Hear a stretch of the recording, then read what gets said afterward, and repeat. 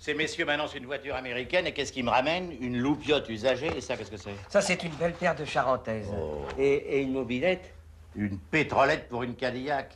Même avec un coup de baratin sur l'économie de carburant, vous croyez pas qu'il me la foutra à la gueule, mon client? Non, les gars, c'est pas sérieux.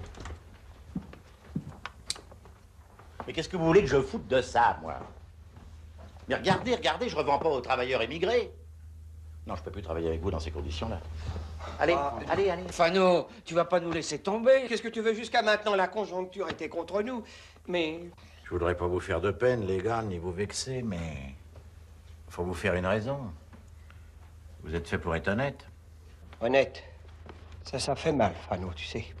Dis tout de suite qu'on est deux pauvres cons. Ben.